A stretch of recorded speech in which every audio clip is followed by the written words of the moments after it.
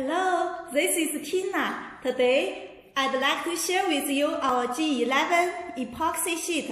See a sample of G11. The color is yellow and the surface is very flat and smooth, no bubble and impurities. It has excellent mechanical and electrical properties at high temperature, and it is very easy to process.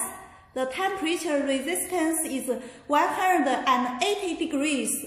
Its regular dimension is 1020 to 24 and 40 millimeters. Thickness is 0.5 to 80 millimeters.